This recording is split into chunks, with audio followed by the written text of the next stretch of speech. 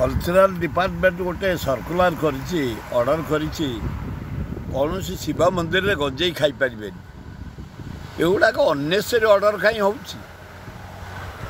ବ୍ରହ୍ମା ଫଳରସ ଖାଆନ୍ତି। ନାରାୟଣ ଭାଙ୍ଗ ଟିକେ ଖାଆନ୍ତି। ଶିବ ଗଞ୍ଜେଇ ଟିକେ ଖାଆନ୍ତି।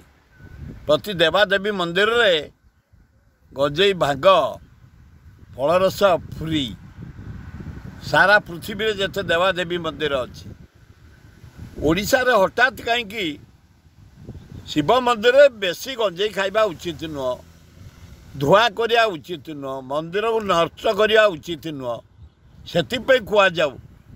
ଆଉ ବିଲକୁଲ ଖାଇବେନି ଏ ତ ଦିଅଙ୍କୁ ଭୋଗ ହୁଏ ଗଞ୍ଜେଇ। ଭାଙ୍ଗ ଫଳରସ ଗୋଟେ ଭୋଗରେ ଯାଏ ଦେବାଦେବୀମାନେ ଖାଆନ୍ତି। ତେଣୁ ଏଇଟା ବନ୍ଦ କରିବାଟା ମୁଁ ଭାବୁଛି ଠିକ୍ ହେଇନି। ଅତ୍ୟଧିକ ଖାଇବେନି। ମନ୍ଦିର ଭିତରେ ଆଡ଼ା କରିବେନି। ଏକାଠି ହେଇ ଗଞ୍ଜେଇ ଖାଇବେନି। ଧୂଆଁ ମଡ଼ କରିବେନି। ଅପରିଷ୍କାର କରିବେନି। ମନ୍ଦିରକୁ ସ୍ୱଚ୍ଛ ରଖିବେ। ରିଟର୍ନ କ୍ଲିନ୍ ରଖିବେ। ପୂଜା କରିବେ।